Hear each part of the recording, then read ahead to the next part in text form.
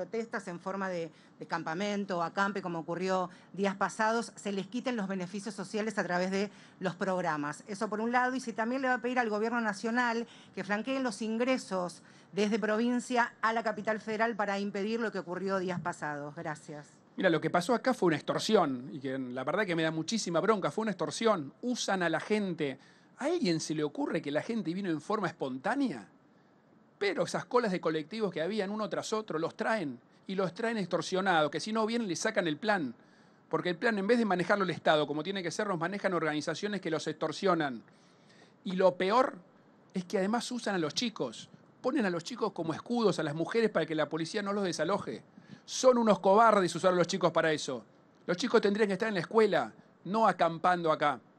Realmente es una barbaridad. Por eso es que le pedimos al gobierno, por eso les pedimos que les saquen los planes sociales.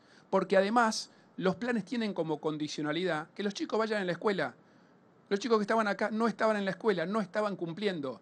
O sea, hagan cumplir la ley y saquen los planes sociales a esa gente. Y así van a ver que no vienen más. No puede ser. Tenemos que replantear además todo el sistema de planes sociales que atentan contra el laburo. Hay gente que por ahí podría conseguir un trabajo y no lo toma para no perder el plan.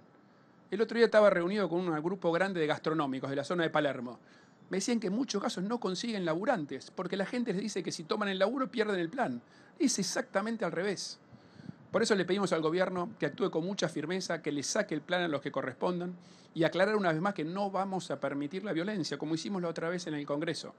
Para eso tenemos que coordinar, le pedimos al Gobierno Nacional que ayude con la coordinación, como me preguntaban acá, asumiendo la responsabilidad que tienen que asumir ellos, que es el cubrir los ingresos a la ciudad. Trabajando juntos es que vamos a poder mejorar este problema. Pero lo primero que digo, hay que terminar con las extorsiones. Eso es lo que necesitamos en la Argentina.